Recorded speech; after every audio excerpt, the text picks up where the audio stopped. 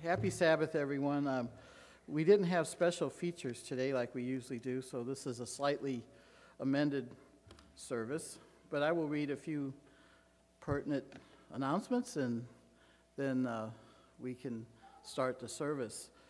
Uh, there's not a lot here, but just to uh, remember uh, Sharito and her family. Uh, they've had a hard struggle with losing their everything, I guess. So it's nice if uh, we can continue helping them as a church. Uh, uh they just wanted to, uh, and in the bulletin it, it, points that out. And then um, the SDA Family Assistance Fund is just one of the ways you can help support that.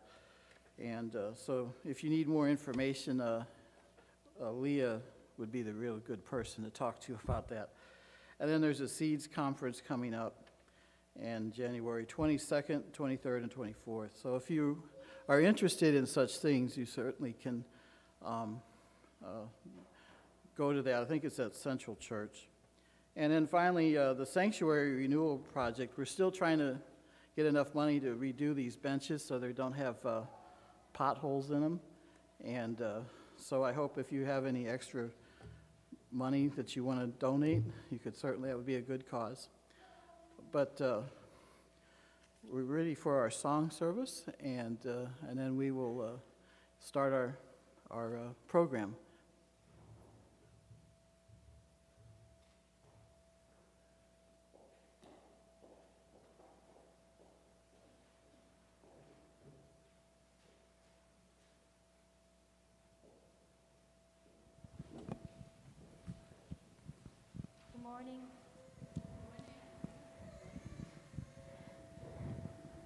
Happy Sabbath to you all.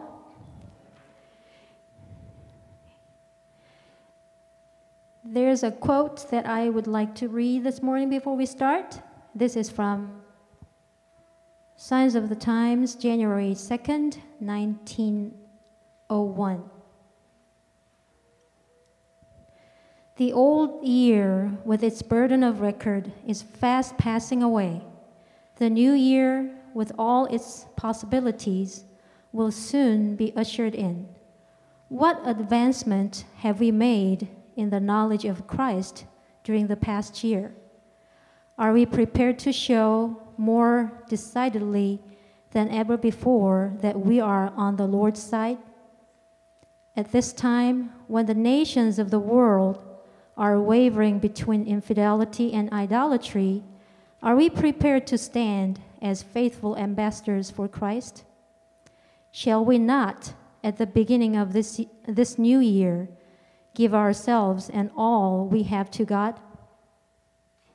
Shall we not listen to his voice, which calls us to a renewed contest, to a more thorough consecration of ourselves and our entrusted capabilities to his service?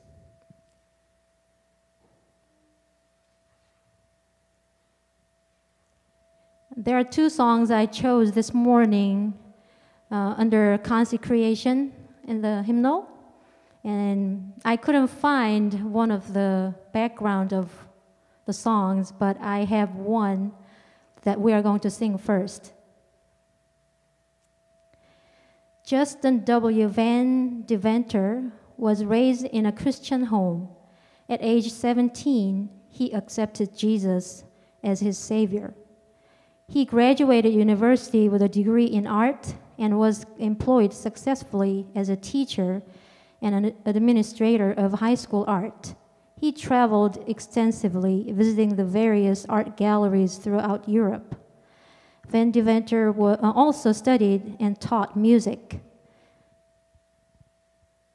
He mastered 13 different instruments, sang, and composed music. He was very involved in the music ministry of his Methodist Episcopal Church and eventually found himself torn between his successful teaching career and his desire to be a part of an evangelistic team. This struggle within himself lasted for almost five years. In 1896, Van Deventer was conducting the music of a church event. It was during these meetings that he finally surrendered his desires completely to God. He made the decision to become a full time evangelist. As he submitted completely to the will of his Lord, a song was born in his heart. I Surrender, Surrender All was put to music by Winfield S. Weeden, who published this and many other hymns in several volumes.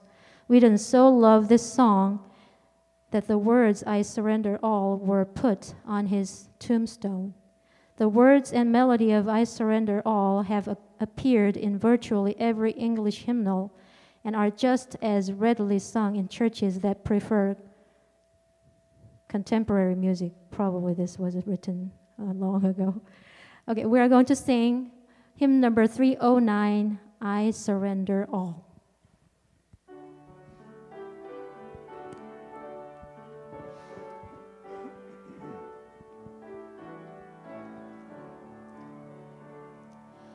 All to Jesus I surrender, all to Him I freely give.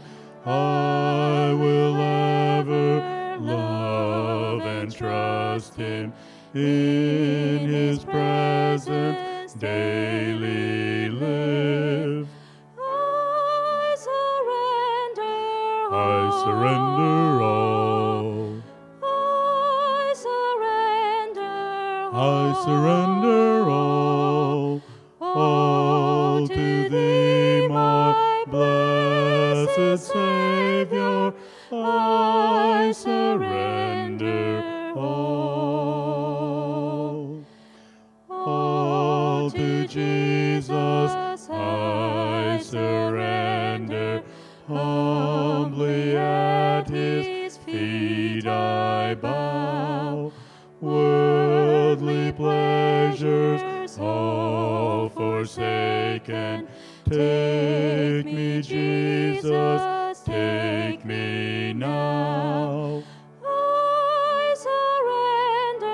I surrender all. I surrender I surrender all,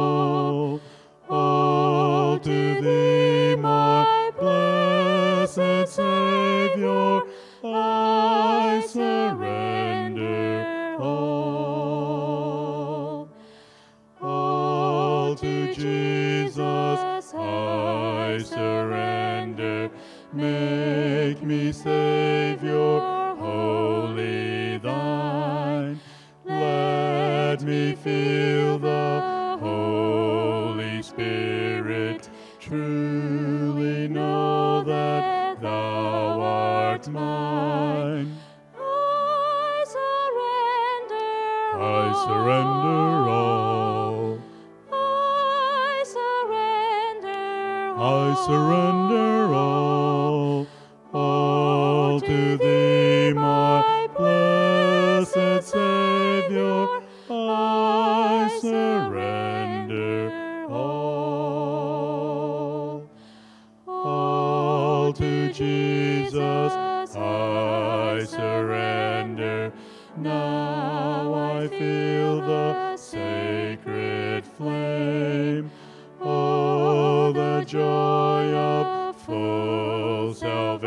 Salvation. Glory,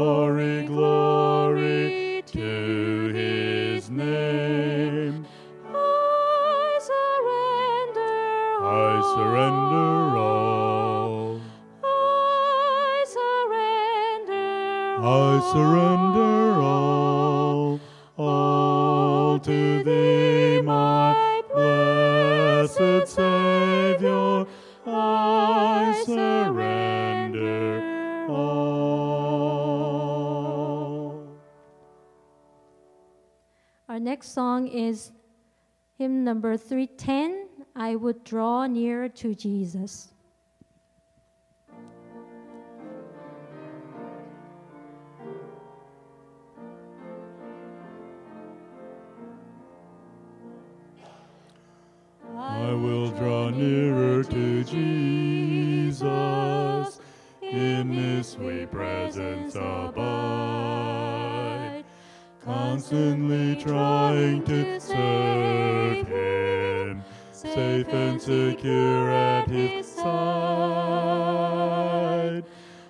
I will draw nearer to Jesus. I will draw nearer to Him. Fully surrender each moment. I will draw nearer to Him. I would draw nearer to Jesus, nothing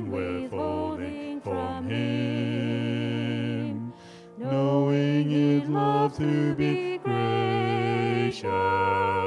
I would draw nearer to Him.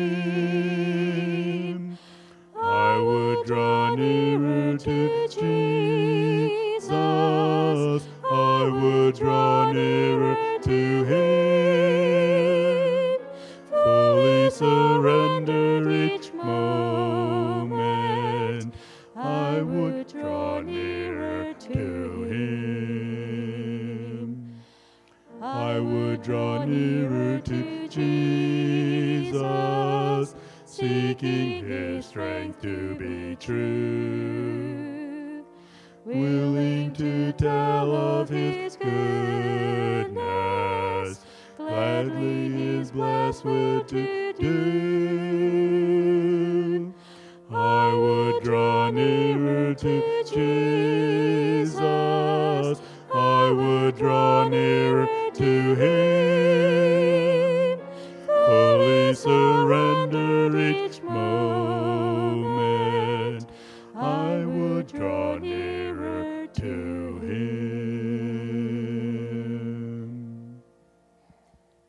Please all stand to sing our introit number one, Praise to the Lord.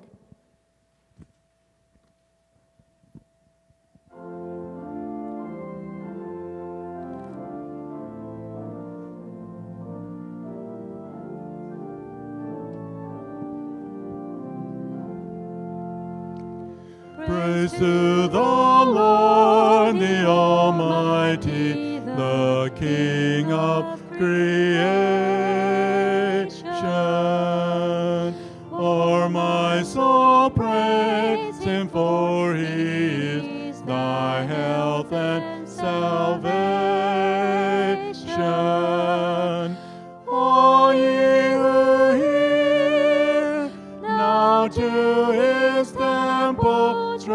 Near. Join ye in glad adoration.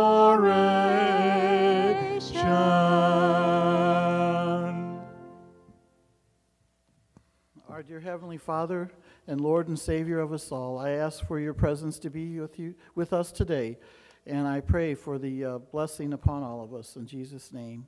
Amen. And while you remain standing, we will sing our first song, which is uh, number 11, The God of Abraham and Praise.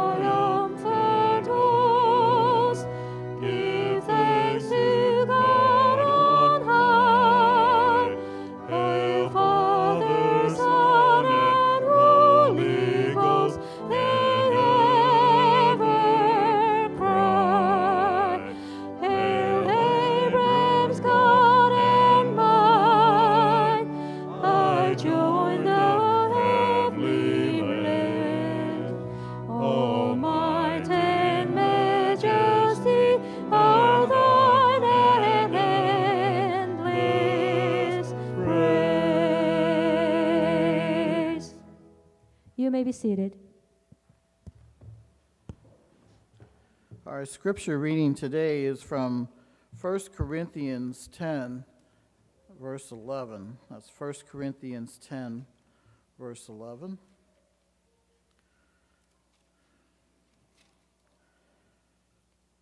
Now all these things happened unto them for ensamples, and they are written for our admonition, upon whom the ends of the world are come. All right, if you will now kneel with me in prayer, we will entreat the Lord.